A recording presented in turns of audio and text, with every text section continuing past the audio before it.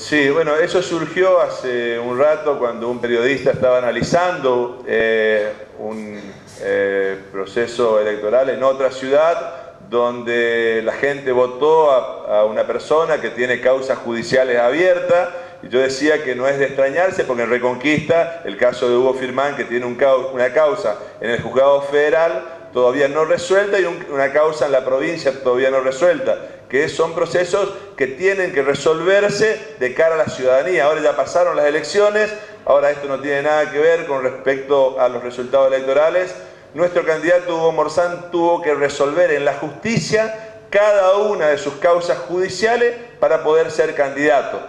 Por lo cual, no mezclamos, lo único que pedimos es que se trate de hacer lo mismo por respeto a la ciudadanía.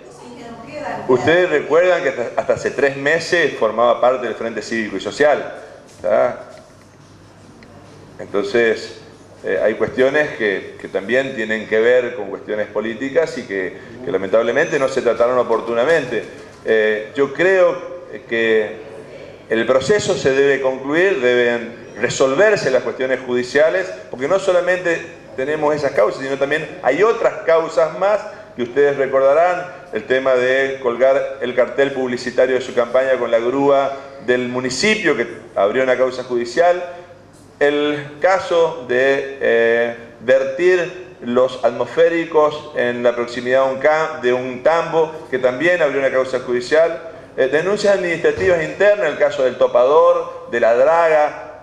de distintas máquinas cuando a él le tocaba estar como secretario también son procesos que creo que tienen que resolverse de cara a la ciudadanía, porque en ese sentido necesitamos eh, cada uno también rendir cuenta de nuestros actos en la función pública. A mí en el 2011 me hicieron una causa por secuestro, que yo secuestré a una mujer junto con el actual, en ese momento, concejal Carlos Castellani, y tuvimos que rendir cuenta a la justicia.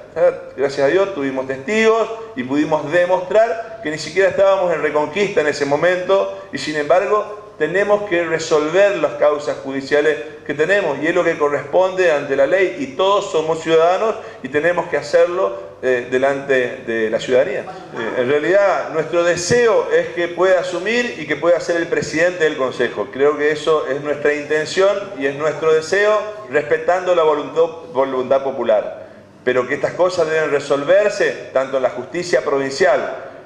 como en la justicia federal, deben resolverse. Entonces son cuestiones que pasan por una responsabilidad ciudadana y de dar el ejemplo a los ciudadanos, porque si nosotros, ocupando una función pública, podemos eh, estar ajenos a esas cosas y no rendir cuenta como tiene que rendir cualquier ciudadano de qué estamos hablando, de que queremos que nuestra justicia mejore.